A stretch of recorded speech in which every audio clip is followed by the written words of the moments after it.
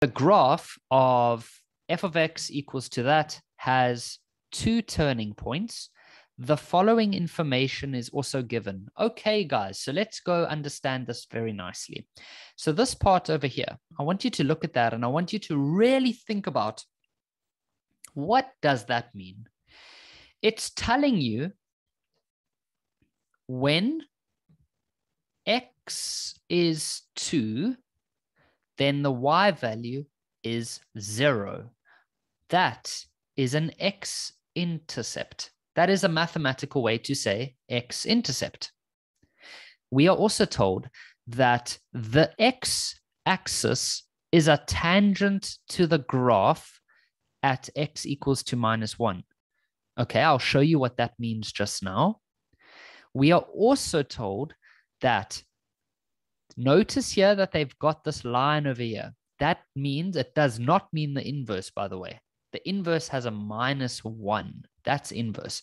This stands for first derivative. And what does the first derivative stand for again? The gradient. And so they're telling us that when x is 1, the gradient is equal to 0.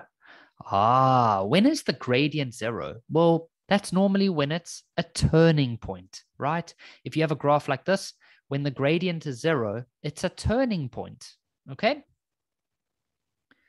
Then they also tell us that um, when x is equal to a half, the gradient, because remember that's what that little line means, the gradient is positive because it says that the gradient is bigger than zero. Okay, quite a weird question.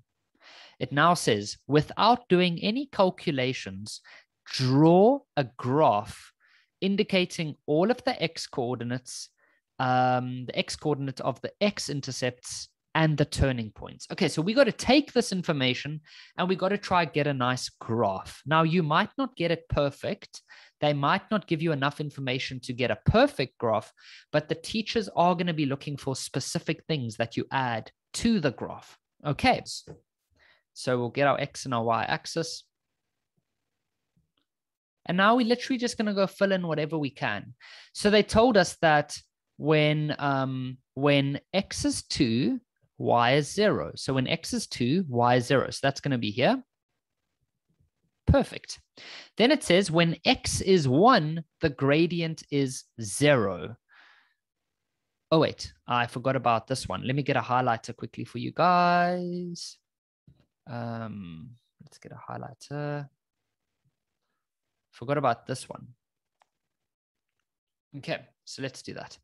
So it says that the x-axis, now remember, this is the x-axis, okay? They said that the x-axis is a tangent when x is minus 1. Okay, so when x is minus 1, that's about here.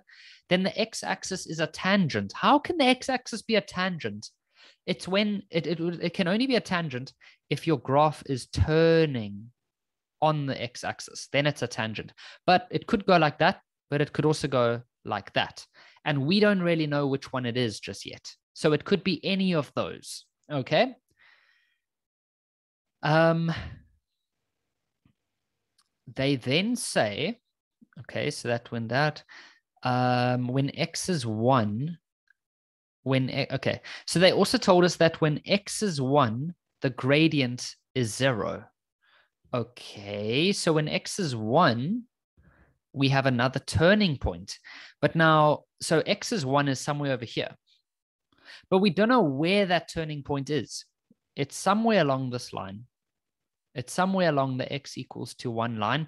But we don't know if it turns here or if it turns somewhere down here. Okay, so there is one extra thing they've told us.